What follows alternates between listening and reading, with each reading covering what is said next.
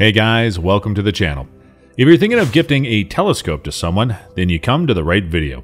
Most likely you don't know anything about telescopes, and you want to give a gift to that special person who expressed interest in stargazing. It may be your kid, spouse, fiance, or any other person who is special to you.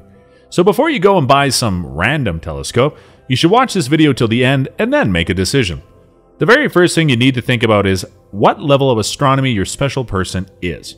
Is the person you're gifting a telescope a beginner, intermediate, or advanced level in astronomy? Knowing this is important because it will help you decide your budget. It will also help the person receiving the gift to make the most out of your gift. Because if your gift of a beginner level telescope to an intermediate level astronomer, then chances are they already have a good intermediate level telescope and your gifted telescope will be not much use for them. If you don't know the level that you need to figure it out, first by asking them indirectly. Let's say you know that they're a complete beginner and do not even have a telescope. Then going with the beginner telescope is a good choice. Usually, most parents come under this category who wants to give their child a telescope to get them started with astronomy. So, here are some beginner's telescopes.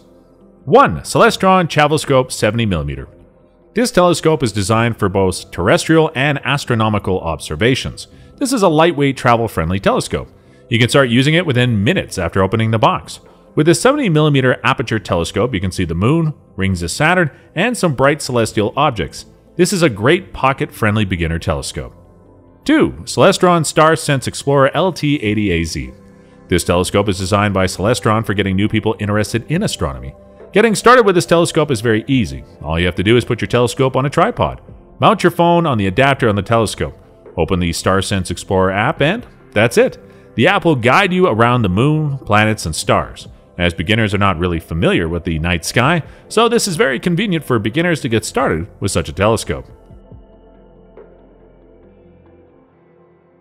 Intermediate astronomers usually already have a basic beginner telescope, so they want to improve from their basic telescope.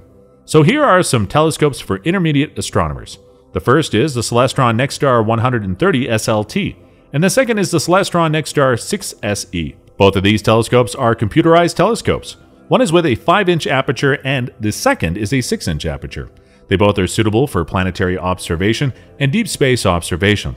Because they both are computerized telescopes, they're a little expensive. NexStar 6SE is costlier than the 130 SLT because it has better optics and performance. We've made a detailed video of a comparison of these two telescopes on this channel. You should check the link in the description. If you want a similar sized non computerized telescope, then you can buy any Dobsonian telescope. It'll be cheaper than computerized, but Dobsonian telescopes are heavy and difficult to move around, so do keep that in mind. Now let's talk about the advanced level telescopes. Most of the advanced levels of astronomers know exactly what they want. They probably have a good intermediate level of the telescope, which has around a 6 inch aperture. If you want to buy an advanced level telescope, then you have to have a higher budget so do keep that in mind. Here are some telescopes for advanced levels of astronomers. First are the Celestron NexStar 8SE, and the second is the Celestron Evolution 9.25 inch. Both of these telescopes are great. The 8SE has an 8 inch aperture, and the Evolution has a 9.25 inch aperture. These telescopes are good for observing planets, galaxy, and deep space objects. They're great for astrophotography as well. You cannot go wrong by going with these telescopes. But the thing is, they are very expensive. The Evolution 9.25 is costlier than the 8SE because of its bigger aperture size. We also made a video on these two telescopes, so do check it out on our channel or just check the links in the description. So these are some of the telescopes you should consider for gifting someone.